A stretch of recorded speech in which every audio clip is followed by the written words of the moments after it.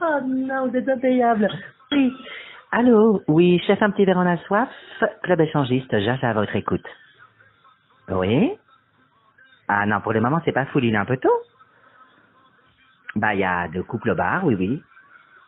Marcello, il y a du monde dans la chambre Il y a une dame?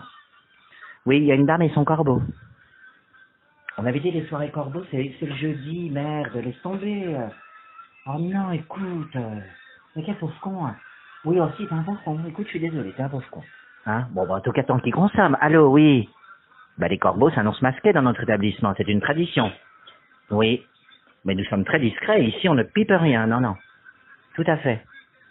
Peut-être un corbeau? Ah oui. La maison est saine, oui. Ah bah je passe tout, tout à l'eau de Javel, deux fois par semaine.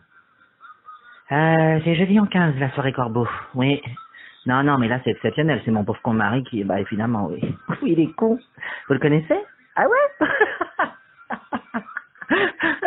Non, mais ah, nous l'appelle Marcello, laisse-nous, on va t'occuper des clients là-bas. Oui. Non, ah oui, vous êtes drôle. Bah venez quand vous voulez. Non, mais venez quand vous voulez, vous n'êtes pas obligé de venir la soirée du 15. Ah, bah, je suis un peu pompette à l'approche de Noël. non, oui. Bon, allez, bonne soirée, à très bientôt, monsieur le Corbeau, oui, oui.